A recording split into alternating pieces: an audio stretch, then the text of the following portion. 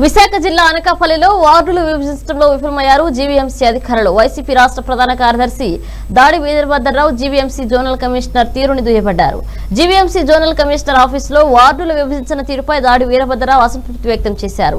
వార్డుల విభజన గందరగోళంగా ఉందని ప్రజాప్రతినిధులుగా మేము గ్రామాల్లోకి వెళ్ళేటప్పుడు ప్రజలకు ఏం సమాధానం చెప్పాలంటూ కమిషనర్పై ఆగ్రహం వ్యక్తం చేశారు. ప్రజాప్రతినిధులుగా మేము ఇక్కడ ఉండగా వార్డులను ఎవరిని అడిగి విభజించారంటూ కమిషనర్ని ప్రశ్నించారు. అనకాపల్లి జీవీఎంసీ జోనల్ కార్యాలయంలో టౌన్ ప్లానింగ్ విభాగంలో అసలు ఏం జరుగుతుంది నాకు తెలియాలంటూ పర్మిషన్ పెట్టుకున్న వారికి పర్మిషన్ మీరు ఇవ్వరు. కాళ్ళు అరిగేలా తిప్పిస్తారు.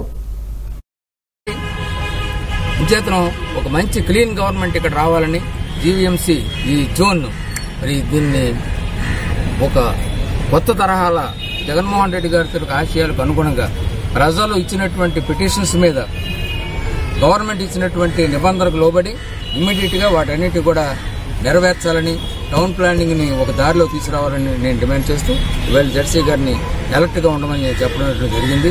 ఆయన ఆయన కూడా నేను చెప్తున్నాను మీరు సక్రమంగా గట్టిగా చేయగలిగితే చేయండి. మీకు ఆబ్లిగేషన్స్ ఉండి చేయలేకపోతే సెలబెట్టి వెళ్ళిపోండి చెప్తున్నాం అలాగే పనిచేయలేనటువంటి శాఖలో పనిచే చేయలేనటువంటి ఆర్ఐ కానీ లేకపోతే కానీ ఇటువంటి వారు ఎవరిని దయచేసి ఉంచండి అబ్జెక్షన్స్ కొంతమంది ఇచ్చారు. మా పార్టీ ఇచ్చింది అబ్జెక్షన్ జాయిన్ ఇవ్వడం అనేటువంటి జరిగింది. ఆ అబ్జెక్షన్స్ కూడా లెక్కలో తీసుకోకుండా ఏం చర్యలు తీసుకున్నారండి? అంటే ఏ- వాళ్ళ వాళ్ళు మానే వాళ్ళు చేసుకుంటూ పోతున్నారు అంతే. దానివల్ల ప్రభుత్వానికి మాకు చెడ్డ పేరు వచ్చేటువంటి పరిస్థితి ఉంది.